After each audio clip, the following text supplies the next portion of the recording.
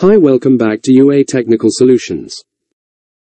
In today's topic we will learn how to troubleshoot alarm 105, 106107 unverified slide valve control in Carrier 30XA chiller.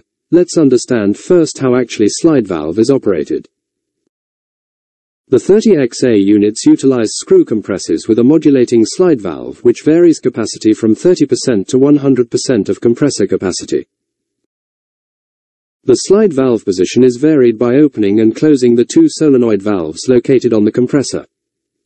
To unload the compressor, both solenoids are deenergized. And to increase in capacity both solenoid valves are energized together which will cause the slide valve to slide towards the fully loaded position. To stop the loading process solenoid 2 is energized and solenoid 1 is deenergized. This will cause the slide valve to maintain its current position. There is no feedback for the position of the slide valve in carrier 30XA.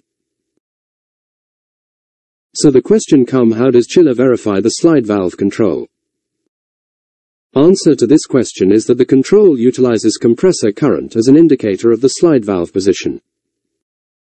Which means as the control energizing the solenoid coil to load the compressor it's monitoring the compressor current. As far energizing the solenoid coils keep increasing the compressor current, chiller control takes it as slide valve is operating normally. Once the calculated position of the slide valve reaches 100% circuit capacity, the control will try to increase capacity again if the compressor current continues to increase. The control will continue to load the compressor until the compressor current no longer increases. At that time the control will energize both solenoids and the circuit will be considered fully loaded.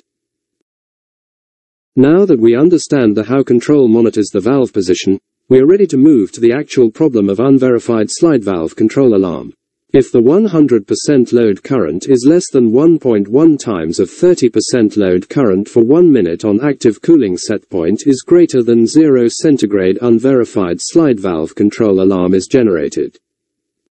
Let us explain it in easy words. Let's assume a compressor is designed to consume 300 amperes on 100% capacity.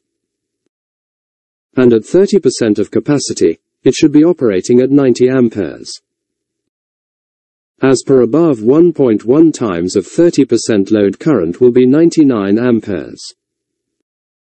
As compressor is in operation and chiller control have commanded it to work on 100%, but the actual current of compressor is lesser than 99 amps. Chiller control will generate unverified slide valve control alarm. This happens due to following reasons. Loading and unloading solenoid valves or coils are faulty. Slide valve is stuck at offload position. Slide valve piston gasket is leaking. Thanks for watching please do subscribe us at UA Technical Solutions.